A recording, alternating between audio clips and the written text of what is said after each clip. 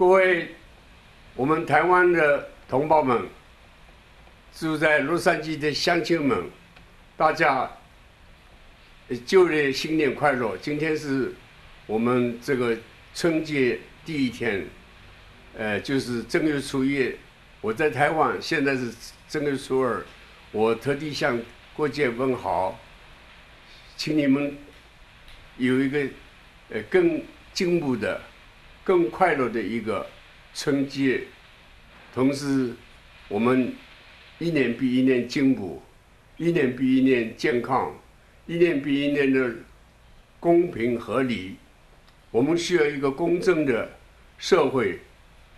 我们需希望我们自己能安居乐业，不希望太别的国家来管我们。今天，台湾刚刚总统选举结束。总的讲，我们的票数是已经超过四年以前的票数，但是很不幸，总统的选举我们落选了。可是我们没有灰心的资格，我们还是要继续努力，为了公正公义，为了人权自由平等，我们还是要不能灰心，也不能丧志，我们要加强的努力。我们要主持我们的公道。我们因为生生活在台湾，台湾养我们，使我们就有今天这样的好的日子过。我们要要珍惜这个成果，不要被外来的政权来控制我们。我希望大家能够站在自己的岗位上，尽我们自己的力量。我们以公正公平的方式，不分党派，我们团结起来。希望三年四年以后，我们能真正的台湾能建立一个世界上大家所尊敬的一个独立的国家。这是我在新年里面我所所所有的心愿，呃，还请大家批评指教。我在一九四七年离开我的出生地上海，我到台到台湾来谋生。今天有这样的一个来的时候是单独单操一个人，啊，等于是一个流浪汉。我在这里就业，在这里成家，在这里立业。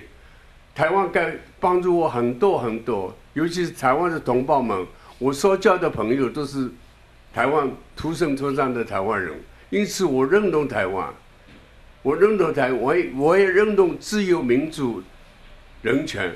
我认同这个可爱的台湾，到处都是没有一一层一一层的废废废土啊！每一层土地，台湾的每一层土地都是有用的土地，所以我们应该珍惜这个成果。我希望我们能大家能同胞能觉醒过来，我们下一次的。要是有选举，我们拿出我们的力量来，呃，那把那些打倒腐化的、贪污的、啊不公正的那些官僚们，请他们下台。这是我的心愿。我今年已经八十八岁了，可是我的我的经历是从从小就是在一个呃，由于抗日战争的关系，我家破。很很早就因为战争的关系，我家破产了。我从小就在干很艰苦的一个环境里面长大了。今天我能有这样子一个环境，而且能活到今年八十八岁，这是台湾死给我的，这是我需要感谢台湾的。因为我们要知道，全世界的人，不管你白人、黑人、黄人，我们都是人，我们都是父母出生的。没有什么贵贵人贱人没有，所以我的我的想法是，我认为世界不应该有也有看不起这一类哦。你是哪里？你你是客家人，我是外省人，什么都是人就好了。人就是人人与人之间，大家要平等，要要和睦相处，大家互相帮助，不能攻击，不能说哦你是什么人，我就当你仇人一样，这样子我们就。就就是不合理，啊，这是我的想法，很谦虚的想法。那希望大家团结起来，我们更要站得站起来，更要更努力的加强我们自己的武装。